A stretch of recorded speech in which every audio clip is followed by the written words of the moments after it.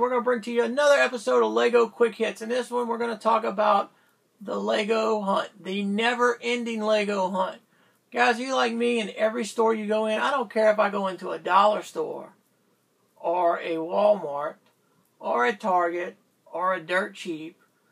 I don't care where I go. I, I'm always up and down the toy aisles. If I go to a bookstore, I'm looking for the toys because I'm always looking for that Lego deal that I don't want to be the guy who walks in and walks out and misses it. Somebody tells me about it or I hear about it elsewhere. If there's a Lego deal out there, I want to be the one to find it. Now that's obviously not always the case. But doesn't it make you feel special when you walk in and, and you see something that you're like, man, I just picked all these poly bags up for a dollar. Makes you feel good because you got such a great deal. That's what I'm talking about the Lego hunt. I don't care if I might go in 10 stores and, and not buy anything. And then when I get to that 11th store, I might find a, the CMFs and find a Lego cop. And it just feels, it makes you feel good because it's like success. Even though I don't need this Lego cop because I've already got a bunch of them, I just found another one. And it makes you feel like you won something. I don't know what I won. I'm still waiting for my prize. Every day I go to the mailbox and nothing.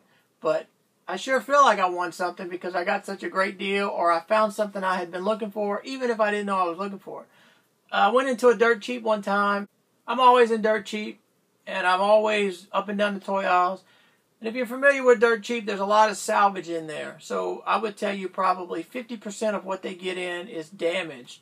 Some of it is returns, and some of it is just it may have got stepped on in the shipping process or the box got crushed, and there's nothing wrong with it except it has a damaged box.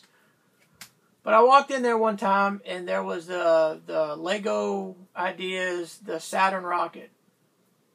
And it was all the Lego was I think it was 50% off or it might have been 40% off.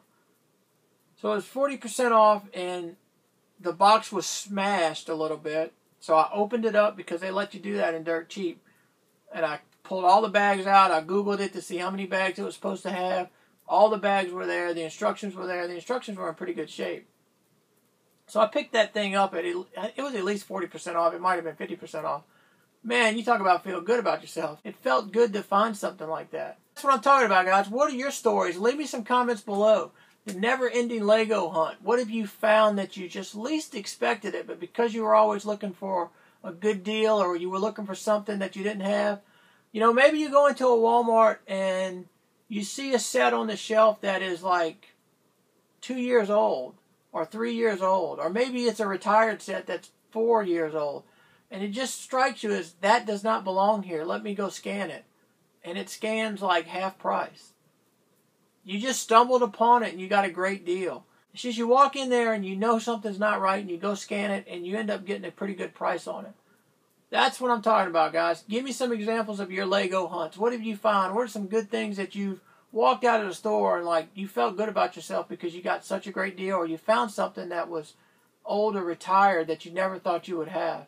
Leave me some comments below, guys. As always, thanks for watching. Really appreciate the support. And until the next one, we will talk again.